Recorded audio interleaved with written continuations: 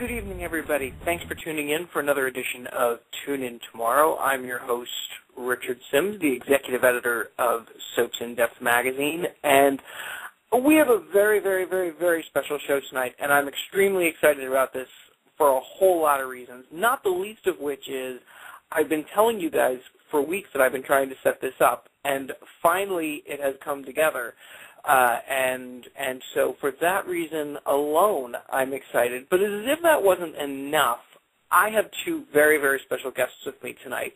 One is the creator of what has to be my very very favorite web soap, uh, a show that I personally think needs to be put on um, television immediately. They have awesome production values and just an amazing cast. And speaking of the amazing cast, the other person we have with us tonight happens to not only be one of his stars and muses, but also someone that all of you, every single last one of you, know and love.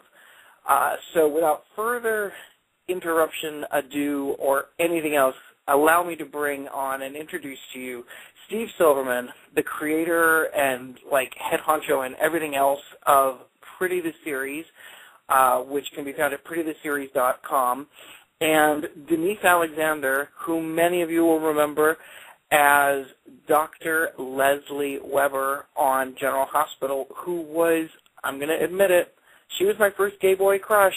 That's right. That's right. Steve, Denise, welcome, welcome, welcome. Thank you so much for joining me. Thank you. I'm overwhelmed. Thank us. you, thank you.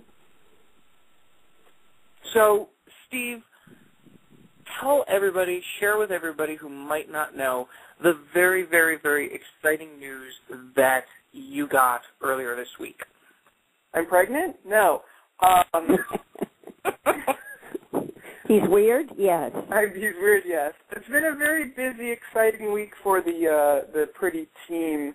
We um, uh, last Wednesday we took home well took home we we have three nominations with the IAW TV Awards, um, including Best Comedy. Um, we picked up a Best Writing and a Best Directing. And just as exciting, uh, yesterday we picked up 13 Indie Soap Award nominations, making us the most nominated web series at the Indie Soap Awards. And um, and it's very very exciting, and we're thrilled beyond belief. And um, I wish I could say that Denise was one of the um, nominees. But he Awkward. Thank you for pointing that out. Gee, what a pal. Denise, Denise in my heart is a nominee always and a winner. Aw. That doesn't what were, help what were Steve. your what were your main nominations, Steve? We it's crazy. Um, Everything. Everything. We we're up. We're up for. Is that a up for best- category? Is that a category best I everything? think it, it should, they should have just done that. They would have saved time. Um, we're up for best comedy. We're up for best writing, best directing. Uh, Sam Pancake for actor.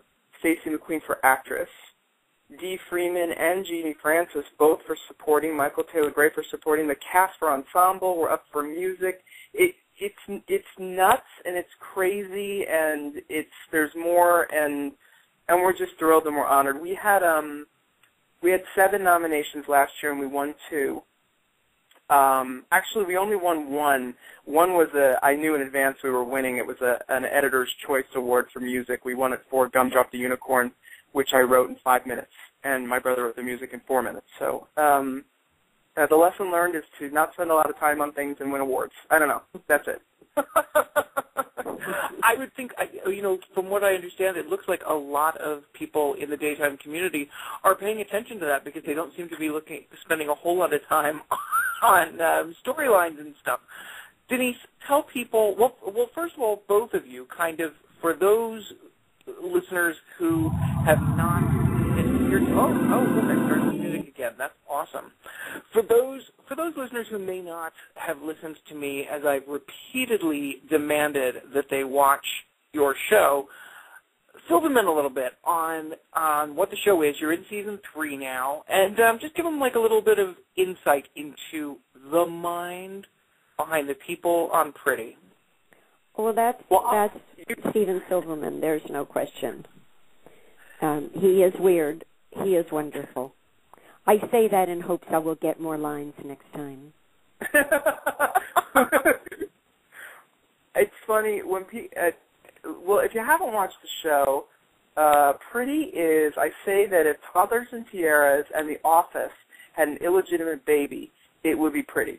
And basically, the way I always sum it up is Michael Champagne wants to see his five-year-old daughter win the Miss Star Ice pageant, and his five-year-old daughter is played by a 35-year-old actress.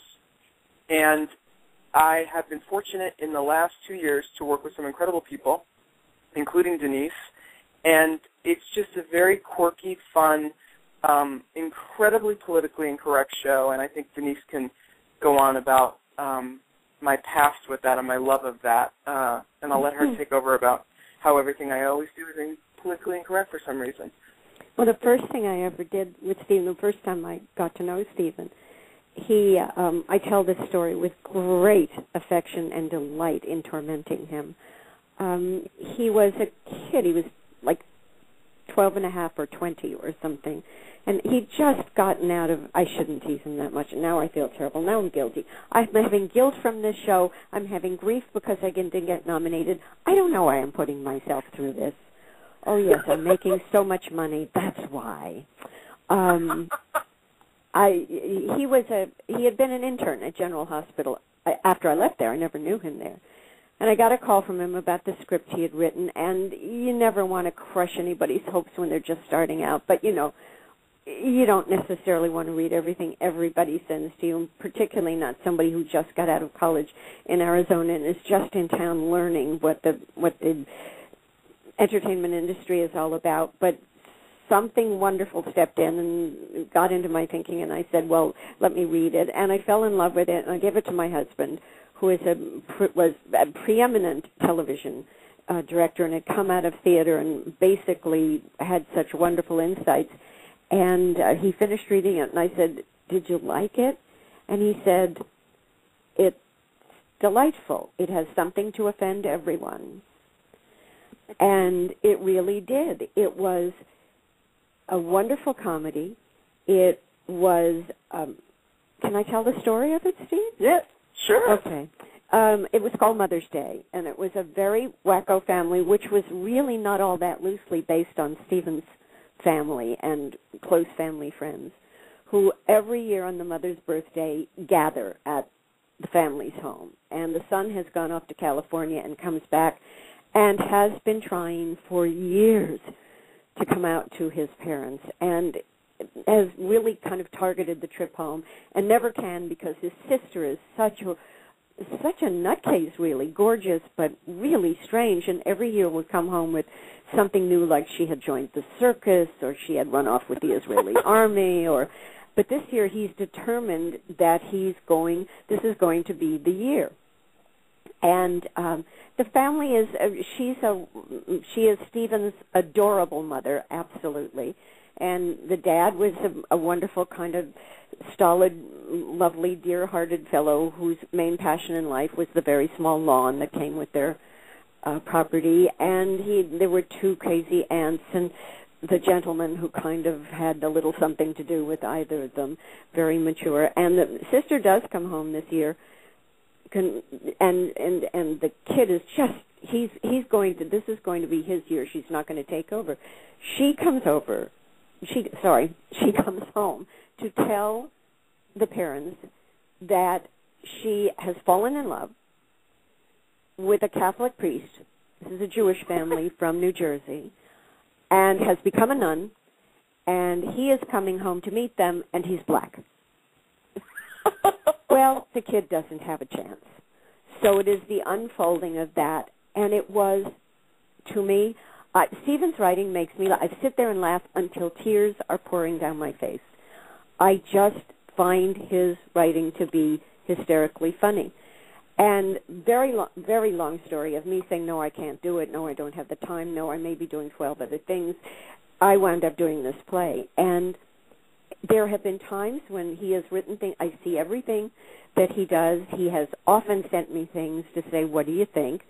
And I've even worked with him in a, a few num- I can't. Obviously, I've been drinking too much tonight. I cannot even speak. Um, you and me both. What?